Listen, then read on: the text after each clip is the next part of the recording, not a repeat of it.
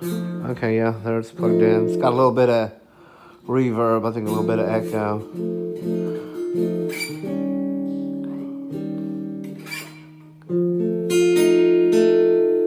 Yeah, sounds good, doesn't it? Yeah.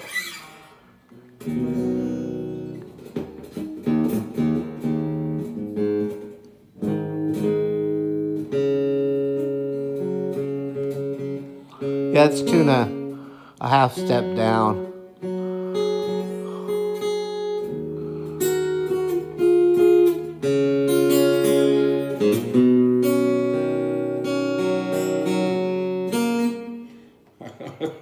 I might be it might be a little bit out of tune. I don't know.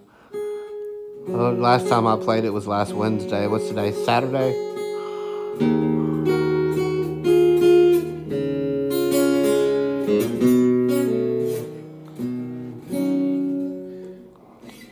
Yeah, just I don't know what it is. It takes me a little bit to get used to it, like when I go from that guitar to my other one because the neck's a little wider. Yeah.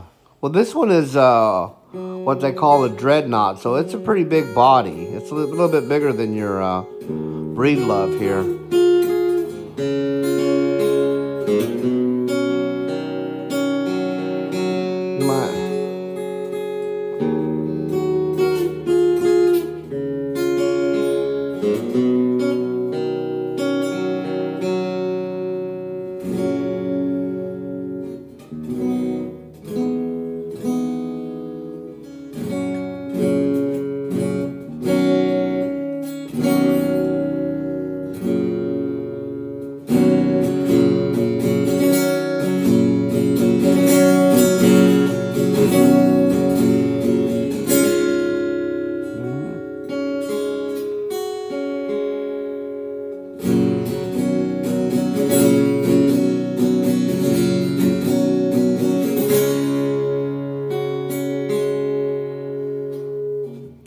Now they ship it to you without a battery. It doesn't come with a battery for the electronics, but it just takes a nine volt battery.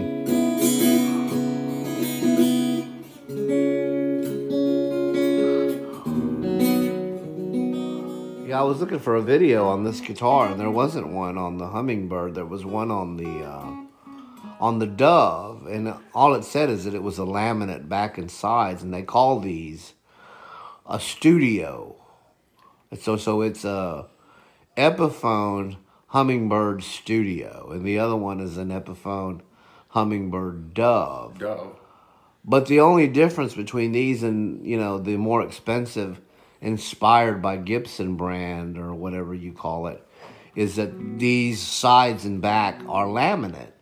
The front is still made of a solid, solid piece of of Sitka or spruce or whatever they call it, and Oh, uh, this top is uh, solid. yeah, it's yeah, it's all a solid piece, and the neck is a solid piece of uh, of uh, mahogany. But of course, it's got that uh, scarf joint on the headstock, which keeps it from broke from breaking. And let me attest to you that the Gibsons do break. Okay, they do break. Don't ask me how I know, but trust me, they break. And uh, yeah, look at the fit and finish. Look at the look look at the sides of it. yeah. It's it's just a it's a well made guitar. It plays decently, and like I said, I've got a regular hummingbird in it. I don't detect uh, a huge difference, other than it may perhaps be psychological. I'm still questioning that. I've got the inspired by Gibson ES three thirty five, which I'm going to tell you right now plays for the money. It plays just as well as my Gibson three thirty five. But uh, I got this from Sweetwater for four forty nine, and it is a fantastic buy. It sounds uh, pretty good on the on the amp. Yeah, yeah, you can plug it into that Boss Cube down there. There should be a cord right there. You can plug it in and listen to it. It sounds fantastic. It's a great. In fact, plug it in. Turn on the turn on that amp. It should be right there. You should just be able to plug it in and turn it on.